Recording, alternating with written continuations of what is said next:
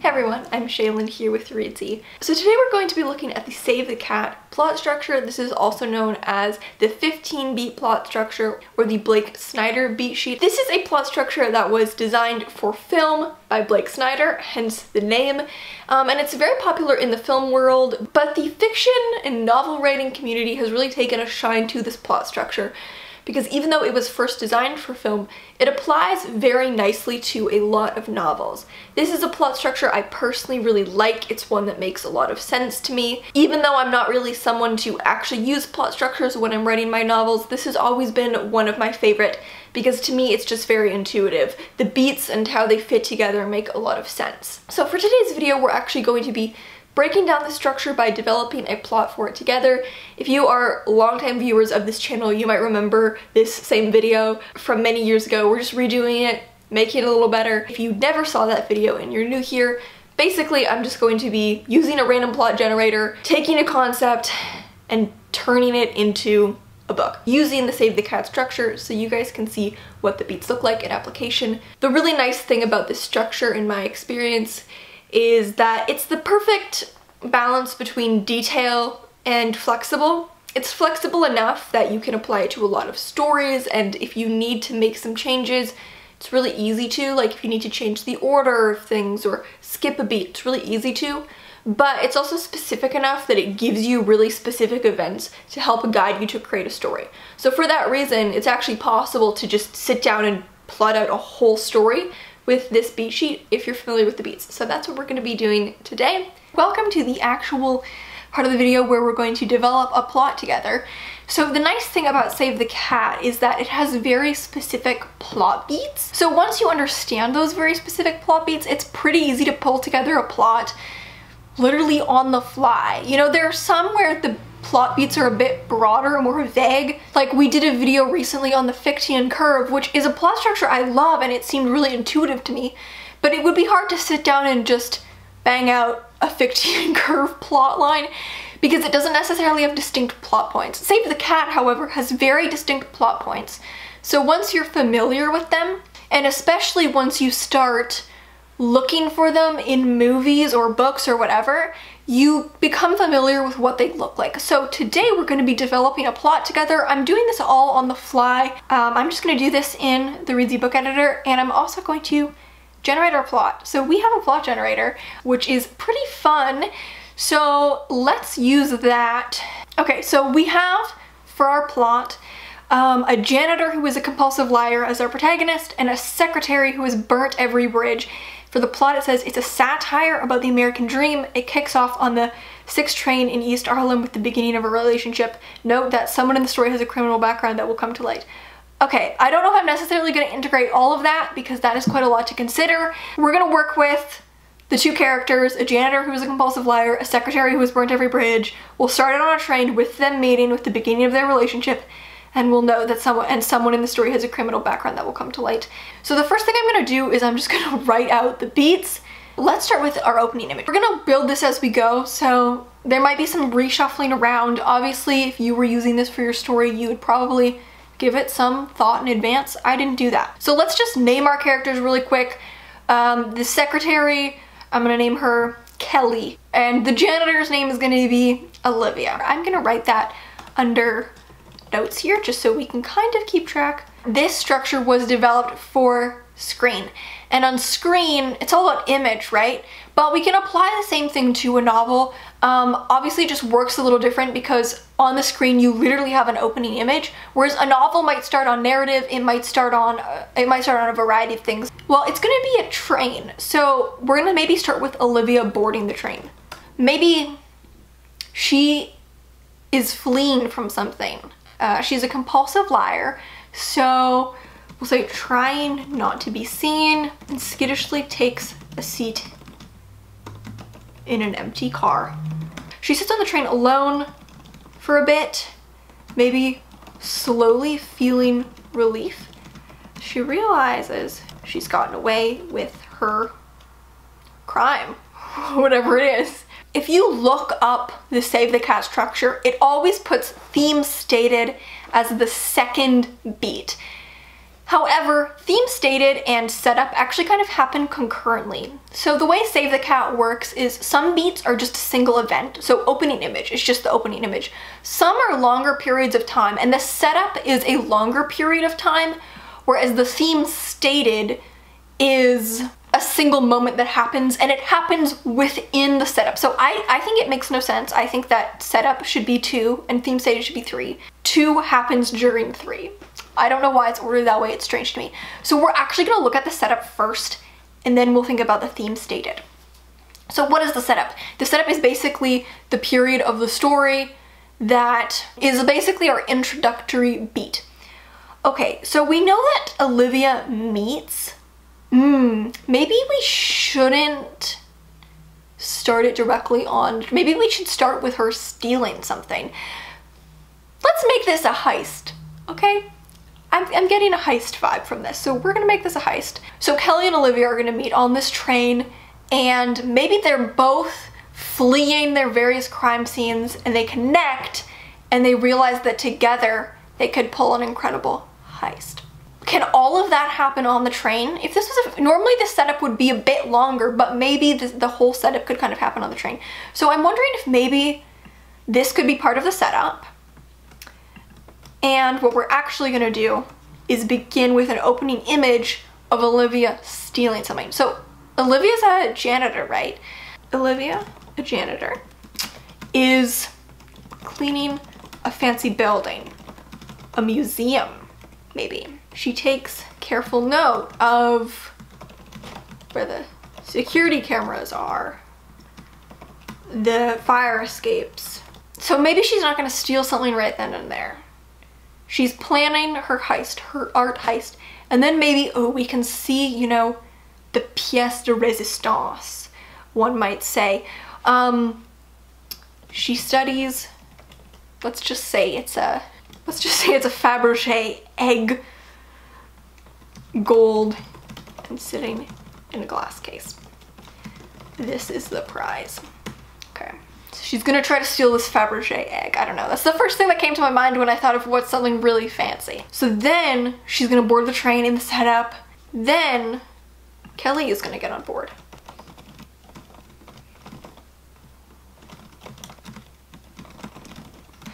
I don't know. How are they recognizing that each other are criminals? Maybe we could see Kelly like pickpocket someone and Olivia could keep her secret. two of them now. I'm getting a little too detailed with this.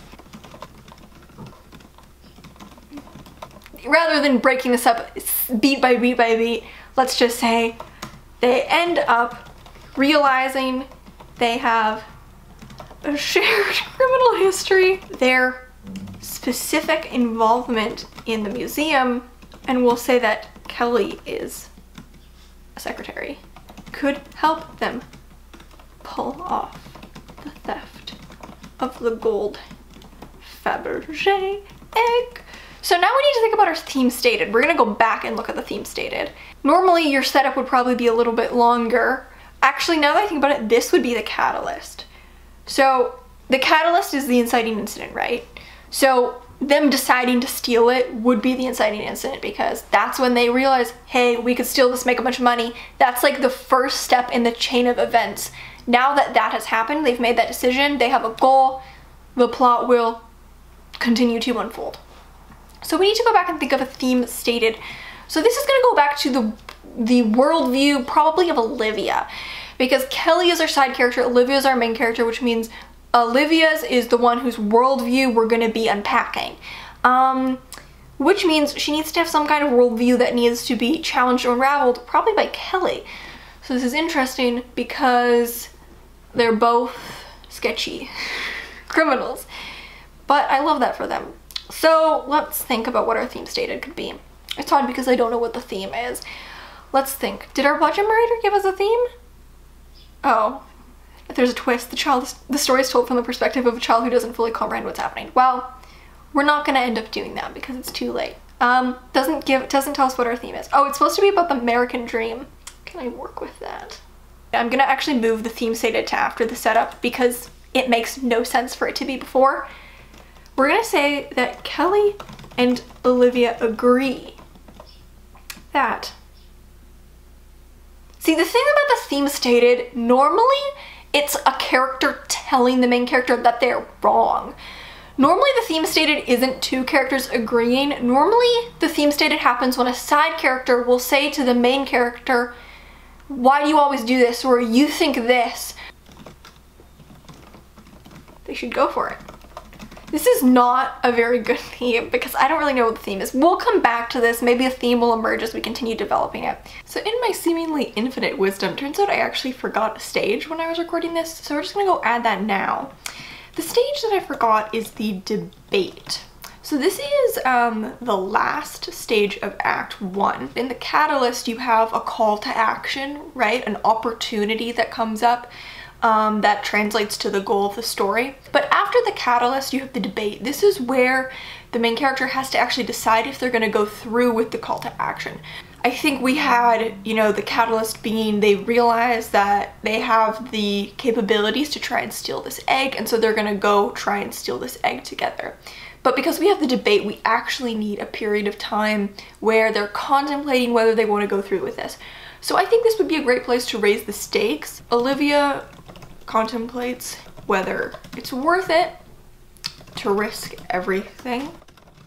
Can maybe see her having some financial problems, so she really does need the money.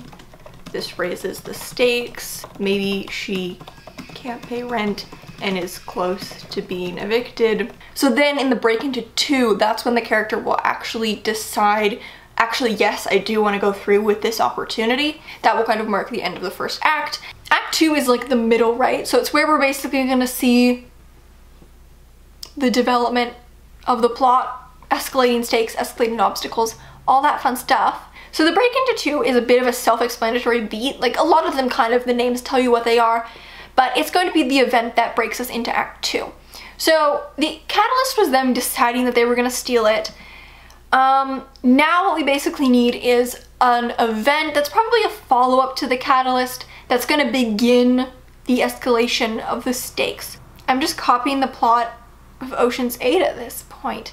They realize that there's like, there's an opportunity for them to steal it. Learns of an event happening, museum, that will give them an opportunity to steal it. So now we need the B story. So B story, to me this has always been a bit of a confusingly named plot point because you would think that it means backstory, right? You would hear B story and think it means backstory, but it actually means basically subplot. So in a novel, you'd probably have multiple subplots. You might have a C story, a D story, etc. In a movie, there's usually just one main one, and it's usually a relationship development. Now this is kind of tricky because we already have character who's in our A plot that we have like a relationship development with, and that's Kelly. So maybe we should introduce another character, a side character. Let's say Olivia's brother. Olivia's brother comes to town. We want to see Olivia's compulsive lying happen. They meet up. Olivia lies about her life and makes it seem quite grandiose and like she's very successful. He might eventually end up kind of being onto her and what she's up to with the heist um, because he kind of knows her deal. Okay, so now we have fun and games. Fun and games is also sometimes known as the promise of the premise. I'll write it here too. So when you hear a log line or when you hear a read the back jacket, there's a central premise to a story. This is where we see it play out. So in this case, the promise of the premise is that there's going to be a heist between these two kind of sketchily minded women um, and they're going to try and steal a Fabergé egg. So this is where we're basically going to see them actively doing it. So this is where Kelly and Olivia hatch their plan. I don't really know how one would steal a Fabergé egg, so I'm not gonna try to figure that out right now. But this is where they plan out their, their plan basically. This is a longer beat. Fun and Games is usually the longest beat in the story. This in a novel would probably be several chapters. at least several scenes because it's like the main bulk of the story. It's not just one thing that happens. However, the next thing, the midpoint, is just one thing that happens. And it's basically a turning point. So usually the midpoint is either a moment of false hope or false defeat. We're gonna make the midpoint them actually going in for the heist and maybe they think they've succeeded. Uh, okay, actually here, they go in for the heist. We're actually gonna see the heist happen also in Promised of the Premise. And then the midpoint is gonna be they get the egg. So that's gonna be a moment of false hope. So now for the bad guys close in, this is basically where we have a moment of highly escalating tension. So in this case, I'm gonna make the antagonist the brother. I think the brother probably wants the best for Olivia, but also like doesn't want her to go to jail because she stole a Fabergé egg. Greg. First name that came to mind, just so it's easy to keep track of the characters. Greg finds the Fabergé egg. He confronts her about it, but she lies and says it's just a fake she found at a yard sale. She wants to fix it up and see if she can sell it for more money. He's not buying it. So all is lost. So this is going to be where it seems like they have failed. Maybe the brother takes the egg from her and is going to go return it. Has stolen, oh, we'll also add to fun and games that Kelly and Olivia really bond here. Neither of them have other close relationships. And this is the first friendship that's meant something to either of them in a long time. I think what we want to develop here is that the stake is not actually losing the egg, the stake is actually losing their friendship. Um, okay, so maybe the theme is actually about friendship. That's what goes in the theme stated. They're both loners and they agree that's for the best and it's why they'll make a good team. So that could be our theme stated. And that's what's going to be upended when the friendship is actually what's most important. So all is lost. Olivia's found out her brother has stolen the egg when she tells Kelly Kelly is furious because it's Olivia's letting her brother find out. And Olivia has now lost both her only friend, her brother, and the egg. So now it's the dark night of the soul. They have nothing left and they have to sit with that. Olivia is alone. She has to reflect on what's more important, getting the egg back or getting Kelly back. So I think she's gonna end, realize that she wants to get Kelly back. So The Dark Night of the Soul, if you have watched a lot of movies, you're probably very familiar with this beat. Think about movies you've watched that are maybe like action movies or have like an ensemble cast where there's like kind of a main group of characters. And you know how in a lot of movies, something will happen that kind of destroys their plan and it seems like the characters have no chance anymore. That would be all is lost. Then, you know how there's often a scene where all the characters will reconvene, everyone will be sitting in a room, and someone will say, it's over, and someone will say, it's not over, and they'll have a bit of an argument, but then they'll realize that if they kind of settle their differences and hatch a new plan, then they can still go after their goal. That's the Dark Night of the Soul beat. In this case, we don't have a bunch of characters, we just have the two main characters so Olivia is gonna face the Dark Night of the, of the Soul alone. She's gonna have to reflect alone. It would be great to see her like on a train, call back to the beginning. Olivia goes to Kelly to apologize. We'll say they work it out, work it out, and make a plan to get the egg back from her brother before he can return it to the museum. So then in the finale, they're gonna do another little mini heist, which is stealing the egg back from the brother. I don't know what the message here is. They don't learn their lesson and st still end up stealing, but this is just a fun movie where we want to see heists happen and be successful, not contemplate morally, rather stealing is wrong. So they're gonna steal again. They go in for heist number two. We can say they replace the egg with a fake one that they make. When Greg returns the fake egg and is told it's a fake, he believes um, Olivia was actually telling the truth. So she really does get away with her criminality, as does Kelly in this movie, but they have the power of friendship. And then we're just gonna say that they take the money from selling the egg and we see them on the beach enjoying their riches. Best friends for life. Morally, this movie is very uh, morally bankrupt. But in terms of fun heists happening, um, I think it's great. So the finale is what would typically be referred to as the climax. For some reason in the Blake Snyder beat sheet, there are a lot of familiar plot beats that are just renamed, like the inciting incident is renamed the catalyst. The finale is the climax of the book. So it's where the tension is the highest. Here we had the main heist actually happen at the midpoint, um, and then we had fallout, and then we have like a secondary heist. They're still going after the same goal they've had since the beginning, which is to get this egg. It's just in a context they didn't expect because there's been obstacles along the way. And there's the added stake of their friendship. So that's what we want. The stakes have actually risen. The stakes at the beginning where we want to get this Fabergé egg so we can have a bunch of money. The stakes at the end now are actually we're friends and we want to go be able to have friendship shenanigans and have a bunch of money. The stakes now have risen to include their friendship. So in a movie, the final image is often something that wants to call back to the opening image. This is not a rule, it's just something you'll see in a lot of screenwriting advice.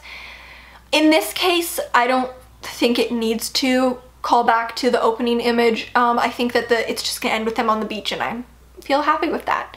So that's our plot. Um, obviously, this is not the most perfect storyline ever because I just made it up out of nowhere. But I hope that it shows what the different beats look like and also shows that once you're familiar with the beats, it's really, really easy to pull together a plot line. The best way to learn what the beats look like and kind of how to identify them is to try and identify them in movies.